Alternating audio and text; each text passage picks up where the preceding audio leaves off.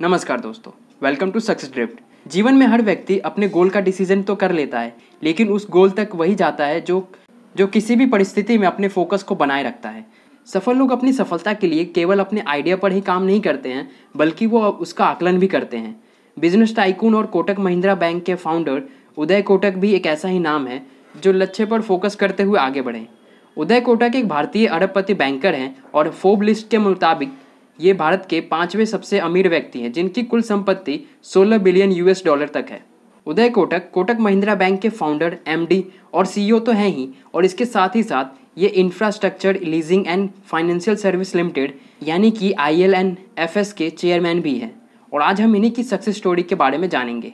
उदय कोटक का जन्म 15 मार्च उन्नीस सौ उनसठ में मुंबई के गुजराती मिडिल क्लास फैमिली में हुआ। उनके परिवार में टोटल 60 फैमिली मेंबर थे। जो कि एक बड़े घर में एक ही छत के नीचे रहते थे।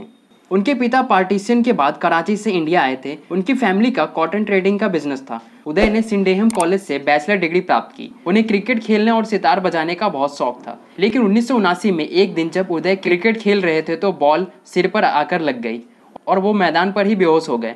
डॉक्टर ने कहा कि ब्रेन हैमरेज हुआ है और तुरंत ऑपरेशन करना पड़ेगा और एक साल तक उनकी पढ़ाई पर ब्रेक लग गया। लेकिन दुनिया को हराने का जज्बा रखने वाला कहाँ हारता है? और साल भर बाद जब उन्होंने परीक्षा दी तो बॉम्बे यूनिवर्सिटी में टॉपर रहे। फिर जमनालाल बजाज कॉलेज से मास्टर और बिज़नेस एडमिनिस्ट्रेशन, यानी कि एम की डिग्री प्राप्त की।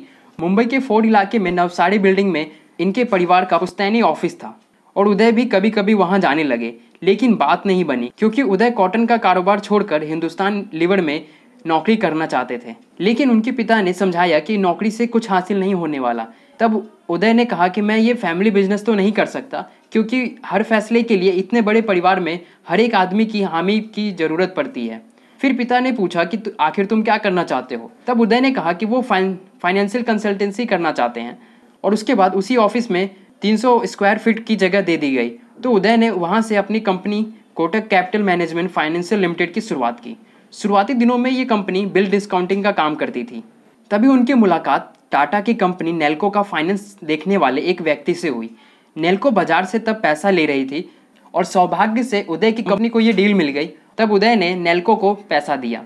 1980 में कई विदेशी बैंकों ने भारत में ऑफ़िस खोले, जिससे कि उदय को फाइनेंस जुटाने के और अवसर मिल गए। साल उन्नीस सौ पचासी को वे अपना भाग्य का दरवाज़ा खुलने जैसा मानते हैं, क्योंकि इसी साल उनकी मुलाकात पल्लवी से हुई, जो कि इनकी जीवन साथी बनी और इसी साल आनंद महिंद्रा से भी मुलाकात हुई, जिनको इन्होंने अपनी फाइनेंशियल कंपनी में इन्वेस्ट करने के लिए कन्विंस कर लिया।